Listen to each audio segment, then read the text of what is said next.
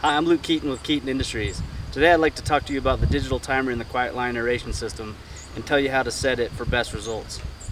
All Quiet Line aeration systems can be run either manually or automatically using the digital timer. For manual operation, press the on-off button once to turn on the unit and once again to turn it off. The timer controls are located under the front cover. Lift from the side to expose the button. We need to start by setting the local time. Press and hold the clock button. While holding the clock button, press the day button until the display shows the current day. Using the hour and minute buttons, set the local time. To set the timer run cycle, press the program button. Press the day button until all seven days are displayed. This will ensure that the unit cycles on and off every day of the week.